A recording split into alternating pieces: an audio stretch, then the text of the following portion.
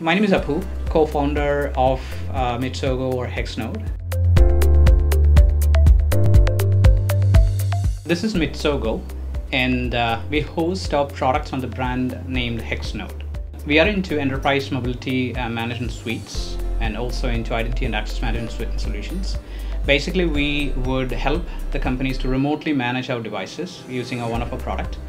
That could be pretty much any platform. It could be Android or iOS or Mac or Windows or any of these endpoint devices and this is but at the same time this is going to be let's say an employee is going to be joining on the company so like an IT person if without a product like ours it's going to be like he have to set up everything manually one by one. So this is going to be like let's say this is going to be like Mac or Windows it's going to be turning on. The moment once he's going to be turning on the employee is going to be completing the authentication uh, immediately we would start installing everything what the employee really require and start setting up the restrictions. For example USB should work or should not work or maybe um, this application should be available or this application should not be available. So these things would be setting up. So that's a kind of product which is going to be one we have. And second one is going to be uh, identity and access management where we ensure the employees do have access to the corresponding SaaS applications which is really required for them based on like using the IAM.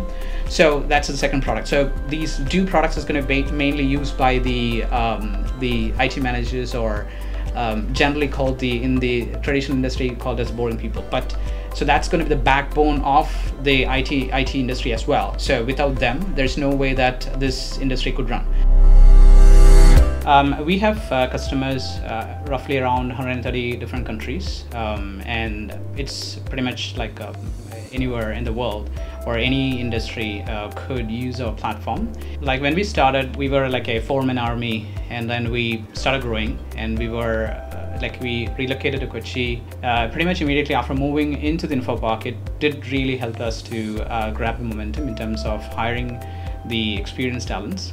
But we mainly focus on uh, freshmen out of campus, train them, build them, uh, make sure that really have the enough strength that is really required to build a product.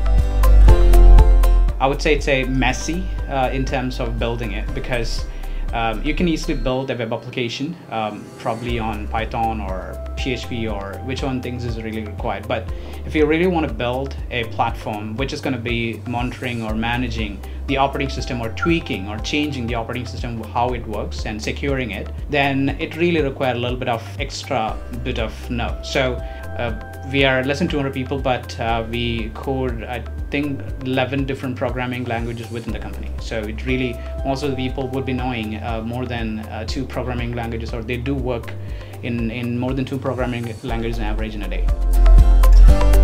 This is a product, but um, we like even though this is a small company compared to any of the competitor so we compete with microsoft microsoft something called intune mdm like hexnode mdm and if you look at VMware, they have AirWatch. They look at uh, Cisco, they have Meraki MDM. So these are the companies that we compete every single day. So like obviously the talent war is very high. So people who's going to be looking back to come to uh, Kochi or Kerala, I would say Kochi is going to be a very, uh, good spot from from an uh, like employee perspective, um, because uh, and definitely I think uh, like you you do have companies who's going to be working on Python or Ruby or or PHP or, or Java or anything out there, it's pretty much available. But anyway, it's going to be each and every person would have like what they really want to be and what type of technology they really want to be working on. And thanks a lot for uh, watching the video and thanks a lot for for showing patience.